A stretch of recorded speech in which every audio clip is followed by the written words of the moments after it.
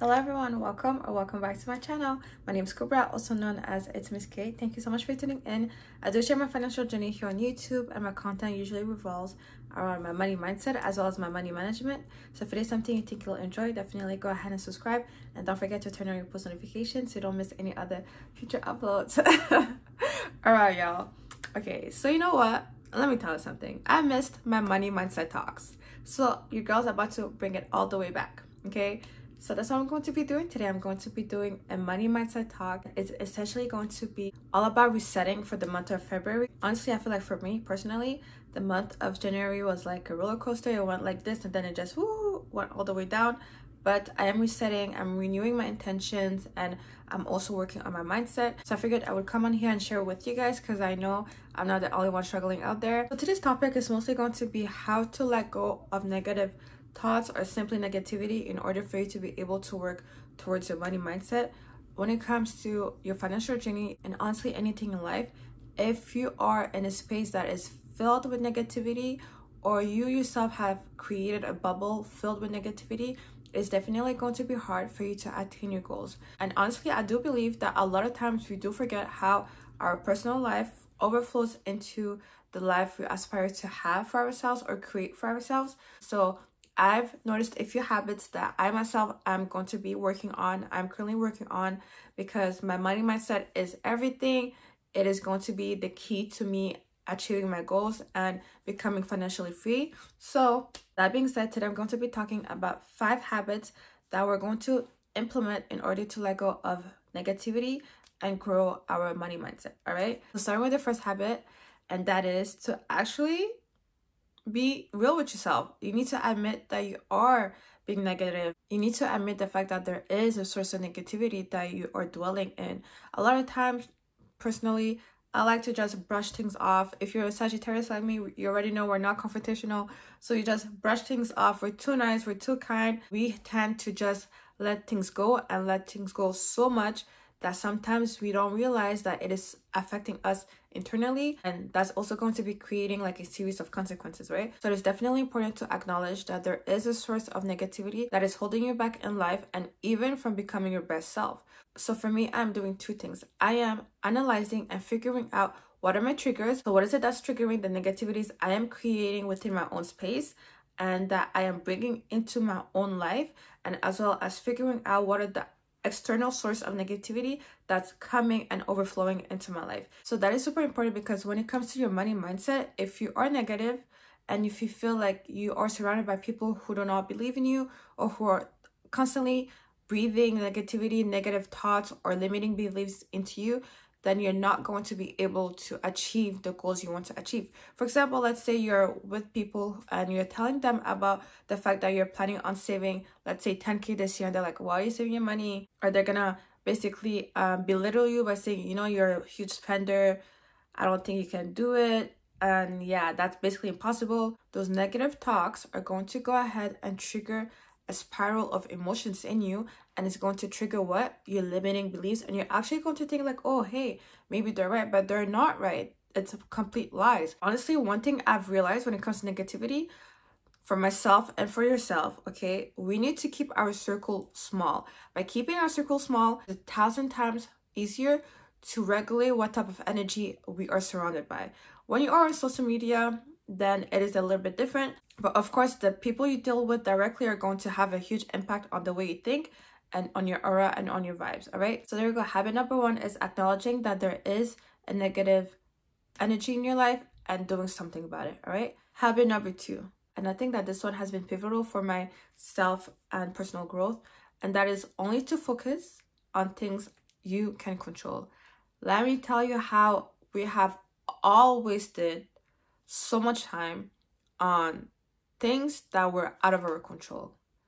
And that just brings us into a cycle in life that is going to be recurrent and that is going to be never ending and that is going to be what? Pointless. Focus on things that you can control. Okay. So, for example, let's say you want to start your savings journey. Okay. Or let's say you just want to start your financial journey. And right now you're working a nine to five job that you feel is not bringing enough income.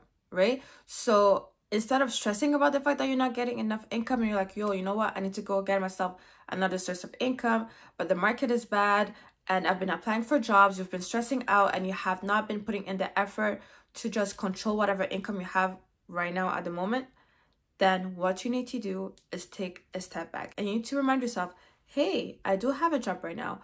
What is it that I can do at this very moment that's going to enable me to be even more financially free or financially independent with what I have in my current situation that is within my control? So, for example, I'm going to go through all of my expenses. I'm going to pinpoint all of my useless expenses that I know I can cut off, which will then bring me even more income that I can put towards paying off my debt, um, saving up for a car, investing, or putting money away so I can start my business, which could then lead to me creating and having a brand new source of income. So let me tell you, honestly, when it comes to life, it's going to be either with you or against you, okay? And a lot of times we don't realize that we are the ones that are setting the precedent in terms of how we are living our lives. And it's all in here, it's all about how we perceive things and situations and how we then decide to control and take action. So only focus on things you can control. That's definitely going to help you within your money mindset and allowing yourself to be like, hey, you know what? Let me focus on the baby steps. Baby steps are huge. You never know what can lead where. You need to focus on the things you can control. Another thing you will gain is a sense of power and a sense of confidence. Because whatever is within your hands, whatever is within reach is what you're controlling. It's yours to tackle, it's yours to master. So there you go. So that's habit number two is focusing on things you can control. Moving on to my third habit, I feel like that should definitely be, it could have been the first one, but anyways, and it's going to be gratitude. A lot of times, speaking for myself first, we tend to always focus on what the end goal. Okay, by focusing on the end goal, we're like, this is what I want to achieve, this is what I want to have, so on and so forth. But by doing that, whatever you currently have at the moment is being let go and it's being devalued right? What I'm saying is we need to stop going into this pattern of thinking that we're only going to be happy once we've achieved our goals. The idea here is to always be mindful of the journey and always be grateful of what we have. There is a million and plus things that we can be grateful for. So that's one thing I'm working on, y'all. One thing about me is I am hard on myself and I feel like I can always do better and I can always get more in terms of like my results. So I am being more conscious of the fact that I am overly blessed with what God has blessed me with. And by being grateful, God is always going to give you more. Always be mindful of the fact that you already have something within yourself which is going to propel you, God willing, to achieve your goals, right? But always remember that the end goal is not going to be the ultimate factor that's going to be bringing you happiness. What's going to be bringing you happiness is enjoying the journey and being grateful within your progress. You know, whatever progress you're making, simply being grateful for that, right? So I think I've read a quote somewhere. It's about not being the best, but just being better than I was yesterday. And that is the whole idea. As long as you're putting in work and you're consistently showing up for yourself, and no matter what aspect of your life, you're not aiming for perfection, you're aiming for progress. It is just a matter of time, God willing, before you achieve your goals.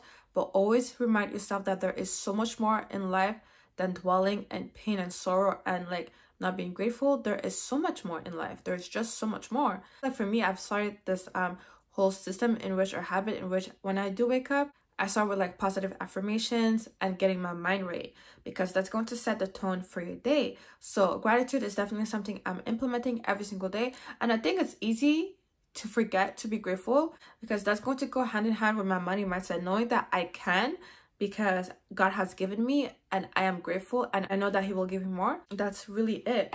Honestly, I don't know why it shows like I'm oily, but I said my face. So so gratitude is huge because when we think about it, if we're not grateful, whenever we do reach a, any type of stepping stone or milestone, we'll never have the time to really take in the progress and enjoy the fact that we have reached a new high, right? Or a new level of where we want it to be. So being mindful of being grateful all the time, regardless of where you are, is going to allow you to be more empathetic towards yourself and others when it comes to your journey. All right. So that's habit number three. All right. So let's go ahead and move on to habit number four. When it comes to letting go of negativity in order for us to grow our money mindset, we have believing in yourself.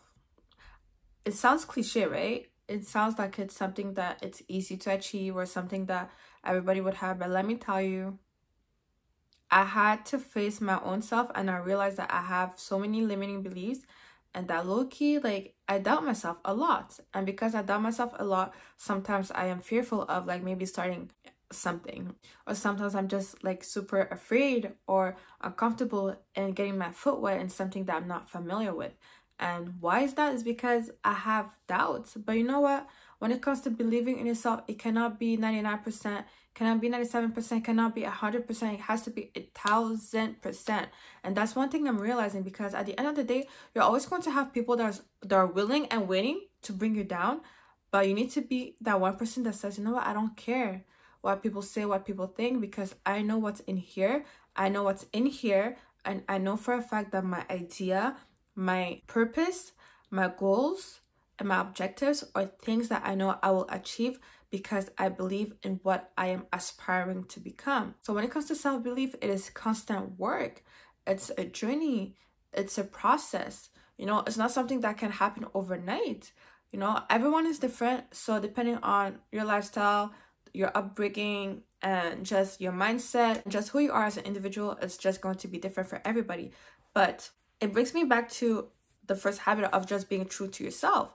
If you know that you have doubts within yourself, then work on those. Try and unravel what makes you doubtful. Sometimes what makes you doubting yourself is simply because of the fact that you don't have enough knowledge in a specific aspect of things and that kind of intimidates you and you're like, oh snap, I don't know if I can do this.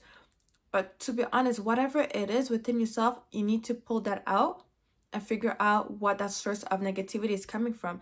That way you can work on it. A lot of times, things that we don't know is because we don't know. Things we fear is because we don't know. We're not familiar with it. And when it comes to unfamiliarity, it's amazing. You know why? Because you can change it to familiarity.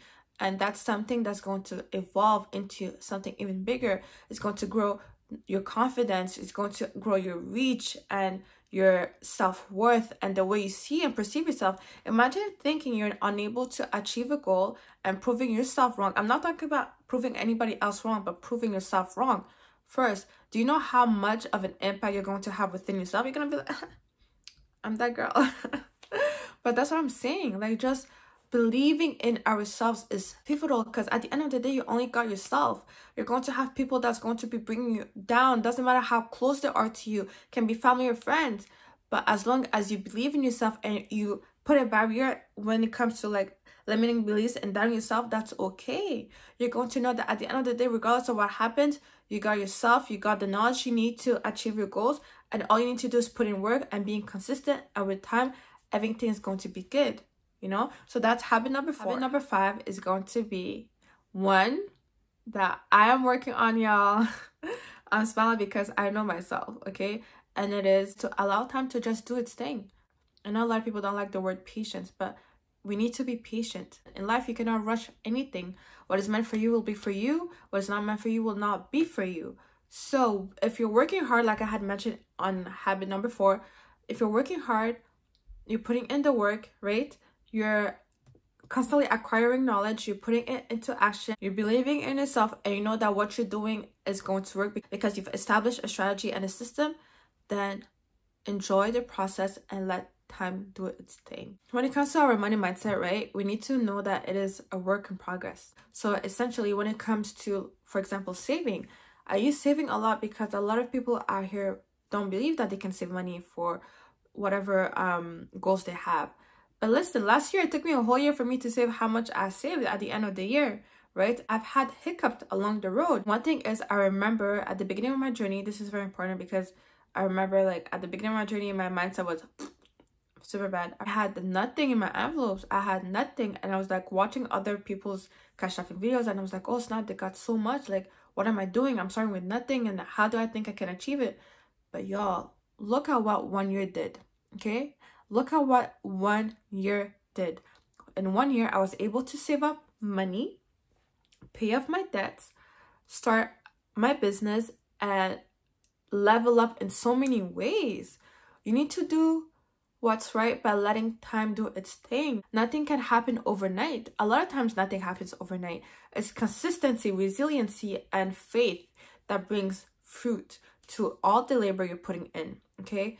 So that's a reminder to myself. Let me tell you, that's a reminder to myself because I'm not gonna lie, I can be impatient because I am hard on myself. I can be patient. Whether it's my financial journey, I want more, I want to do better. When it comes to my fitness journey, I want to lose faster, anything. So, habit number five, let's allow ourselves to let time do its thing. And that's going to help us with our money mindset because at the end of the day, as long as we have structure, we can only elevate. As long as we have strategy, we can only elevate. As long as we have faith, we can only elevate. So it's all about leveling up and going up from here, but it does start with us and the way we think. So that's it. I hope you did enjoy today's money mindset talk. And let me know if you would like any other topics in particular, if there's something particular you would like for me to address in terms of money mindset. But yeah, one thing I've realized that I'm working on is the way I feel is going to definitely have an impact on the way I work. So we need to always remind ourselves to go back to the root of things and always work on becoming better for our future all right so i hope you did enjoy today's video and i will catch you next time if you did make it all the way to the end of this video go ahead and leave me a purple heart because why not? And i hope you do stay blessed and happy and joyful and in peace. And i'll catch you in my next video. Bye. Peace and love. Bye